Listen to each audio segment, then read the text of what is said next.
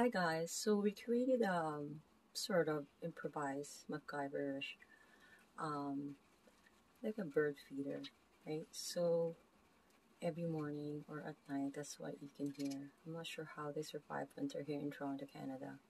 It's brutal.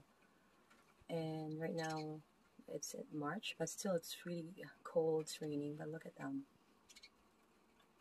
They're surviving and we feed them with those food. We put water and they um they do drink the water with it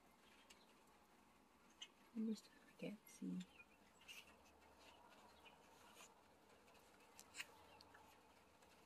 There.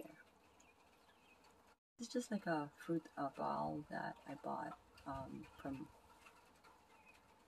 from like a garage sale. And I decided to just use it because it's wood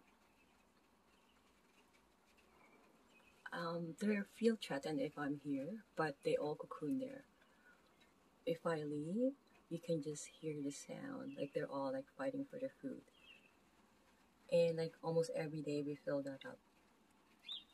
And sometimes um two days, but they um they actually try to um scout more, and that's how I guess they are right. Oh, there's more food here. They're not greedy and they don't they just don't want it for themselves, but they they share it. So that's the behavior um, that I have seen so far while watching this beautiful creature here that God has given us for us to enjoy. Okay, guys, so I'll give you more update.